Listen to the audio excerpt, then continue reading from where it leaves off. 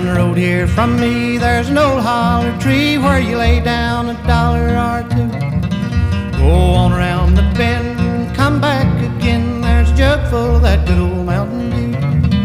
Oh, they call it that good old Mountain Dew, and them that refuse it are few. I'll hush up my mug if you fill up my jug with that good old